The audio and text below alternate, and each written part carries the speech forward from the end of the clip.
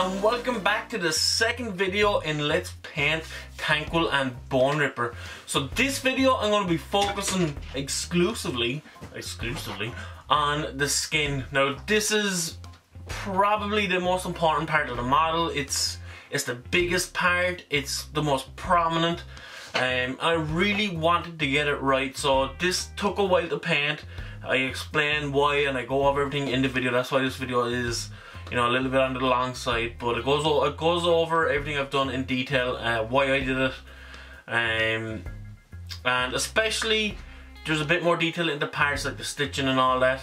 Uh, kind of the, the, markings on the skin and the Carroburg Crimson wash that I used to make it really stick out and more prominent. So hopefully you guys like this video and remember make sure to leave your comment in the section below for me to have let me let me rephrase that Make sure to leave a comment below with any of your questions that you want me to discuss in the next video. In the third video, I'm going to be painting the armor. I think it's going to be either just the armor or the armor and all the metal parts. Um, I'm not sure yet, but I want your questions. I want something to discuss while I'm painting.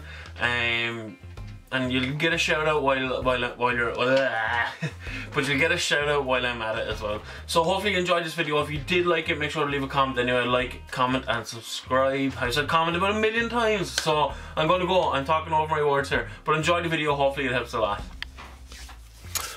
Alright so we're back for the second video. Now this one should be maybe a little bit longer. There's a lot of uh, skin to get covered in this video. So what I'm going to be doing for the first color is I'm going to be using Bugman's Glow um, all over the skin for a base color. And obviously over the grey primer I mentioned in the last video. I primed the whole model in grey. So I was going to slap a tin coat of this all over.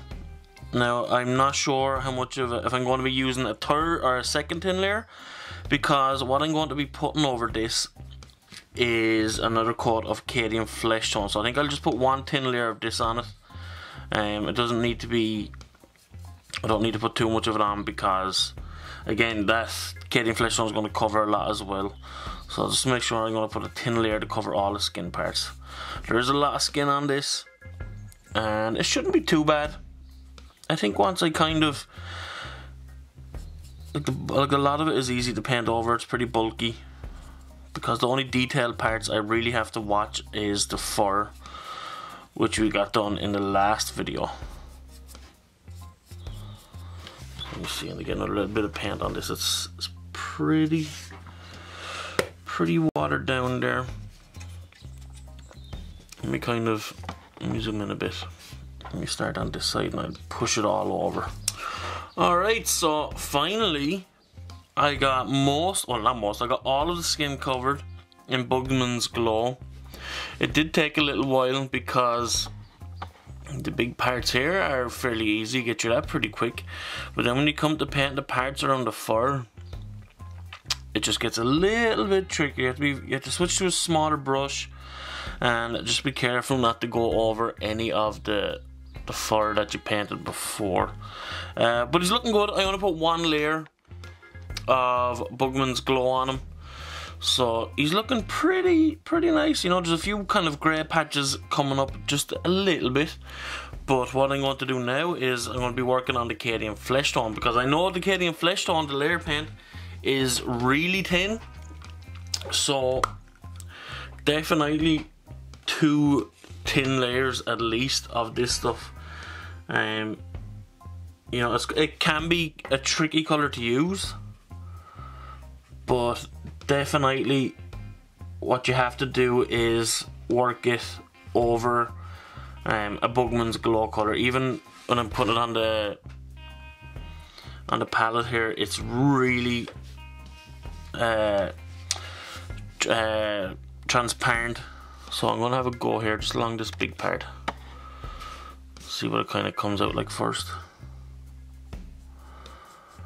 Yeah, this is definitely going to take at least two tin coats.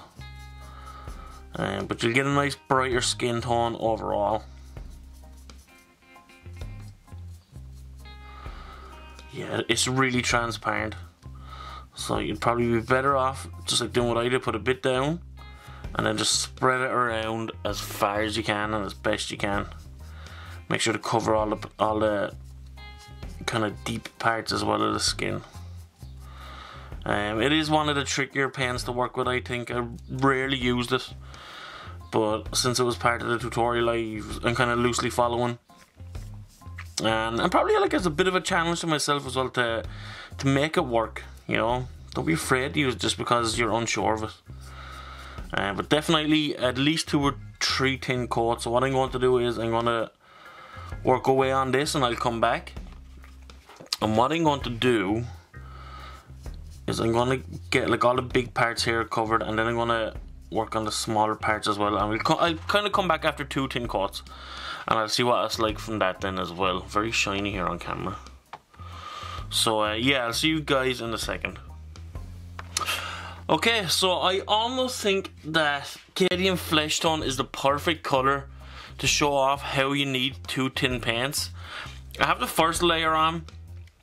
It's still a bit patchy in areas. I'm not sure if it comes across that on the camera but for definite it needs uh, a couple of thin layers uh, at least one at least two. Um, so I have one on. I'm gonna put a second one on now. They're still kind of like even though they're two two uh, kind of similar skin colors can I can still see like Bugman's glow coming up through the up through the Cadian flesh tone so I'm gonna stick another thin layer on that and I will come back to it and see what it's like then now that I have another layer of Cadian flesh tone on. I had to actually stick him onto his big base that I got because it was just getting harder and harder to hold him. But uh, now that the second layer of Cadian flesh tone is on, skin is looking pretty good. Uh, it's looking like a pretty solid colour. Hopefully it'll all hold together. So what I plan on doing now is, let's see if I can leave him this way. I'm going to be using Reikland Flesh Shade. And what I'm going to be doing, instead of washing the whole model, I'm just going to be putting it into the recesses. So kind of like all these lines here across the stomach, uh, all these kind of deeper parts around here and everything. Uh, just, I don't know, I usually, I'm trying to get out of this habit, I think I mentioned it in the other videos.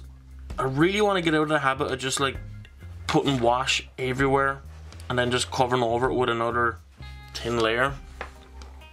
So hopefully this way it'll come out a bit nicer. Let me see if I get in a bit closer. I have a bit too much on the brush here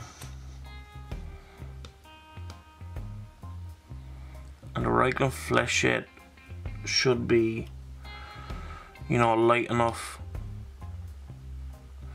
so it shouldn't be too harsh on it.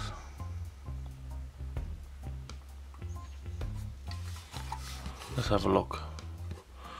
I know it's a little bit shiny there. But it can be kind of tricky to figure this out at first.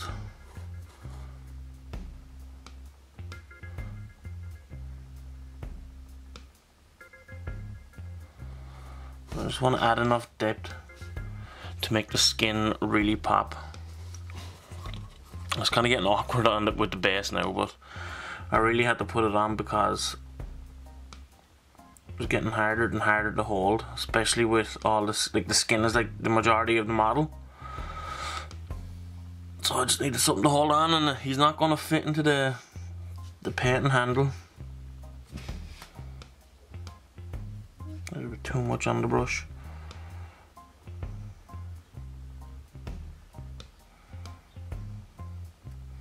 Maybe I might have to do a little bit of tidying up once I finish this if any of it goes out too far. Hopefully it blends into it enough once it dries and it doesn't kind of, I don't want it to stick out too much.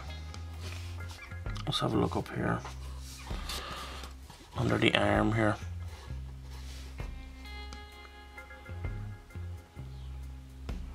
Just follow along all the recesses.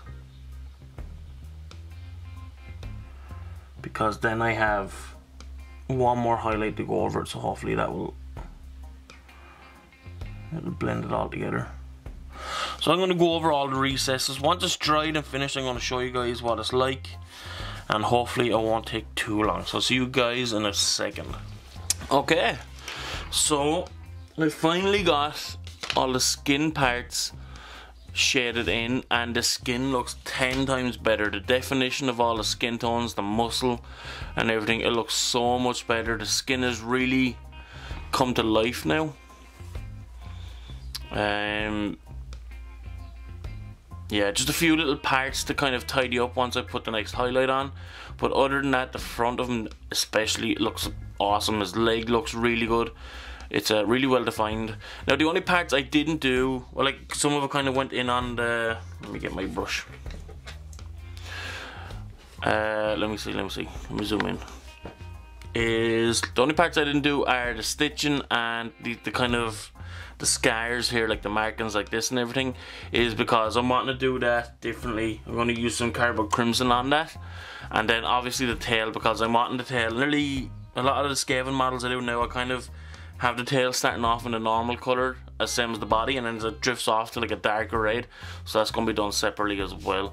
So for now kind of the last step for the big part of it is to put um, some kind of layer slash well mostly highlight I suppose of Kislev flesh on the the real prominent higher parts like the kind of if you can see here the veins and kind of the higher part of the muscles sticking up.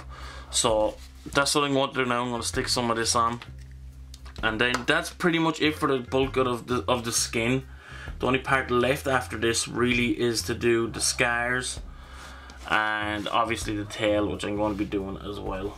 So let me get a little bit of this Kislev flesh. Now this is a paint I haven't really used too often as far as I can remember. But I'm only going to be needing very little of it.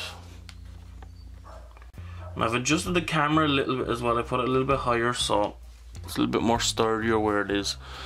So it might be a little bit more closer than usual. So let me have a look at the first part. Let's let's start with I'll turn it this way. Might be a bit easier for me. I know this base gets in the way. So let me start here on the body part where this kind of skin part really it's really prominent, it really sticks up. This one be wanting to do like kind of thin strokes along it to really make these parts pop up from the rest of it.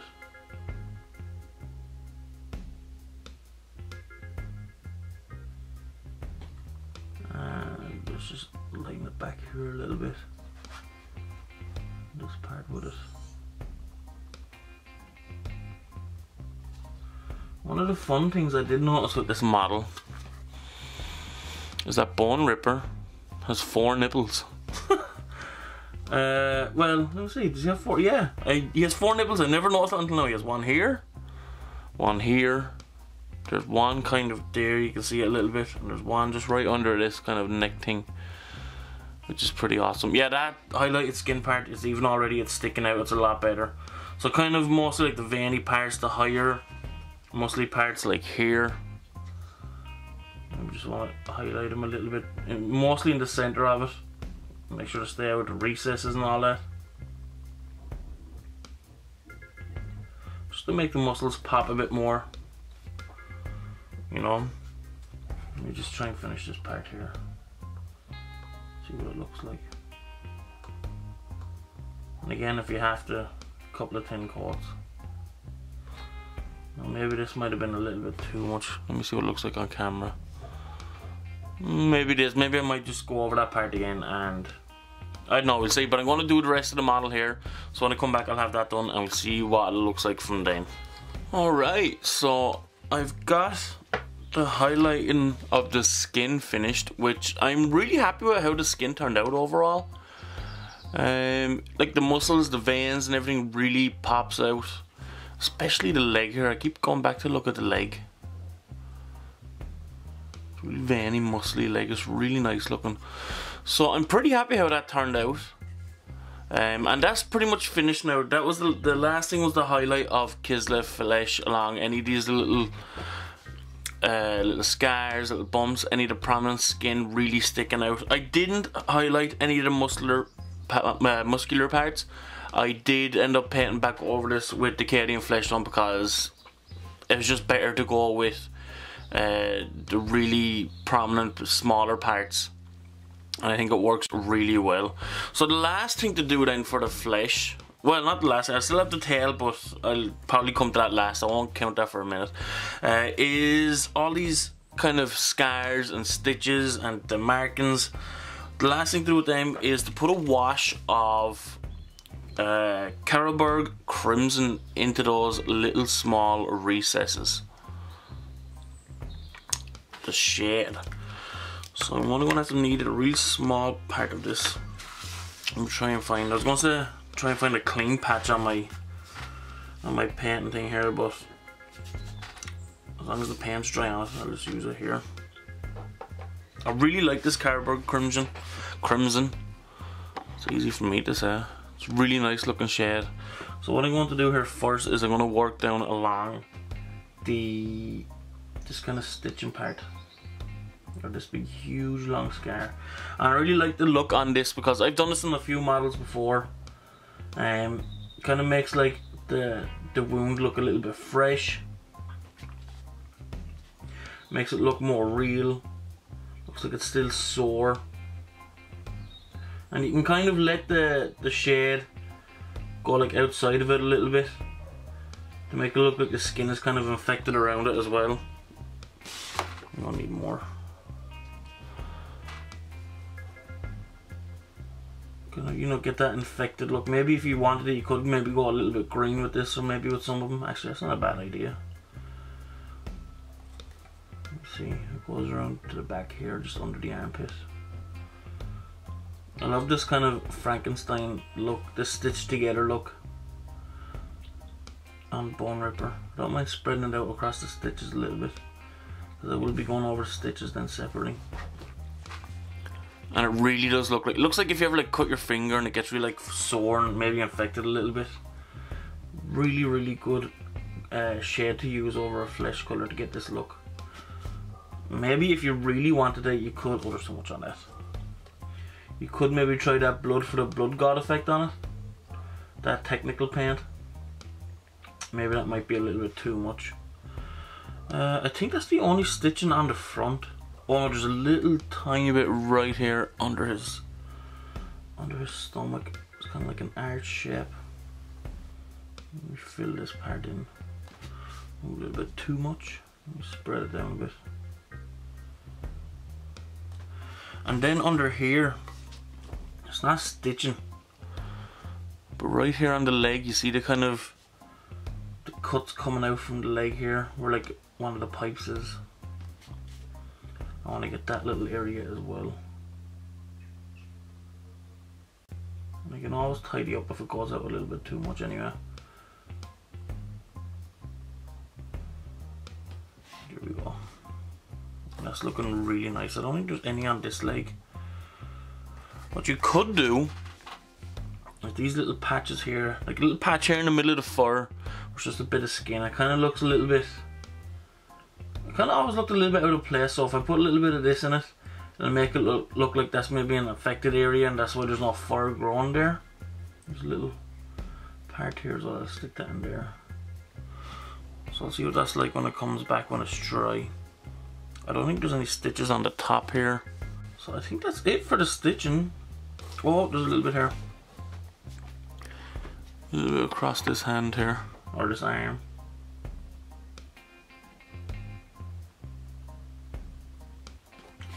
Little small details like this make this model so nice.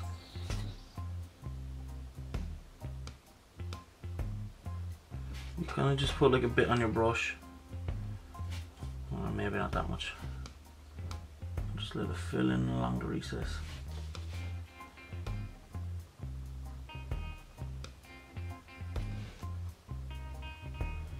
And then what you can do is, once this part is finished, put a little small piece of it. A little small shade around the edges of it as well. To kind of make it look like the skin around it is starting to get a little bit infected. You can always kind of tidy it up then with the Cadian flesh tone if it spreads out a little bit too much. A little bit of it gonna hurt too much. We'll see what it's like once it dries. Change that There we go. To make them a, little bit more prominent. Give them a little bit more cut, a little bit more color. Maybe give them a piercing. Actually, that's not a bad idea. You ever seen a Thanquol or a Boneripper model? With a pierced nipple? Yeah, just a little bit around it. Maybe this one's a little bit too much. Just kind of makes them stick out a bit, bit more because they're kind of hard to see sometimes. So when I was looking through my painting journal, my little painting notebook, just as I thought, I'm pretty sure it was Carroburg Crimson that I used to wash the kind of the darker colour of the tail. So that's what I'm going to be using for this one. I just had to double check it. Uh, I'm going to switch to a little bit of a bigger brush because I'm all I'm going to do is paint the recesses of the tail. And then see what it's like from there. So each line kind of across it. I might go a little bit bigger around or when it comes to the end. But for now, I just want to get these recesses painted and see what it's like from there. And already, I've used too much paint. Yeah, no, you know what? I'm going to call an audible, I'm going to change it a little bit. I'm going to stick with the way I did the other one. I'm going to paint the whole tail with the wash and then cut, brighten it up from that way. Because I do like how I did that with the other one. So I'm just going to do that now quickly. I'm going to stick to my way of doing washes from now on where I put as less as possible on it and spread it around.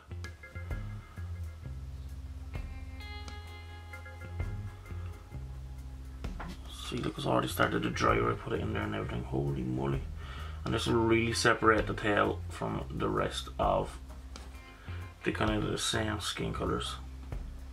So I'm going to finish this off. I'm going to do as best I can and you guys will see the results in a second.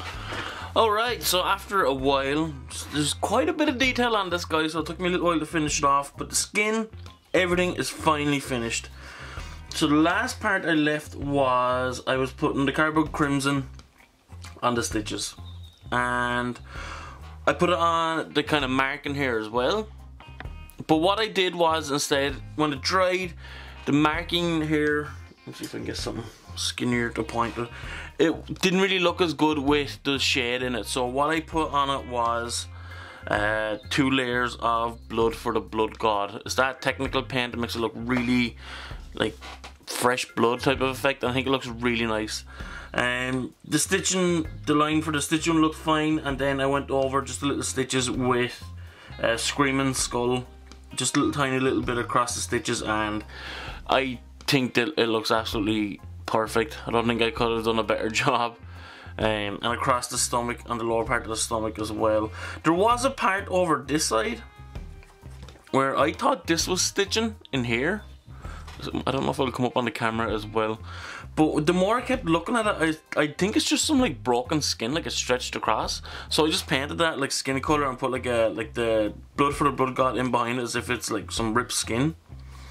Uh, the tail is dried. I put a little highlight of uh, what was it called? What was it called? What was it called? Cadian flesh tone on some parts of her hair to make it kind of pop out a little bit. Uh, but other than that, I just tidied up a few bits, got the neck done. Oh yeah, on the kind of the parts of the skin, I know I said this earlier, I put a little bit of the Carroburg Crimson wash in around the recesses or just in, a, in about where the fur would kind of come out of, where it's like it's peeling off the skin, just to make give that little bit of a raw look. And I think it worked turned out pretty well. So overall, we have the skin done, we have the fur done. So I'm pretty sure the next stage is going to be the armor. So we're going to have uh, here uh, the same, so kind of the same color for here will be on the guns, on the top parts, and around here, and on his leg. Um, and I don't think, oh yeah, there's a part here on his back. That'll be done. So I think as far as I know, I have to plan out the next maybe two or three videos to see what's going to be next, but I think it's going to be the armor. I'm going to have to do some research on some colours. Make sure let me know what you guys think of what colours to do. Um, I'm thinking like an orangey red. I'm not too sure yet. But so far, he's looking really good. I'm really happy how he's turned out. Um, and hopefully you guys like this video. Make sure to hit the like button, comment and subscribe if you haven't already. And make sure to put your comment in the comment section below because I'll be reading out comments and questions and feedback on the next video. Um, as well as like I'd probably put it up on Facebook, uh, Facebook groups as well. So uh, definitely check that out if you can. So uh, once again, thanks for watching. Hopefully you guys like this. I think I'm on a pretty good roll with this guy so far and uh, hopefully it will continue. So thanks for watching and I'll see you guys next video.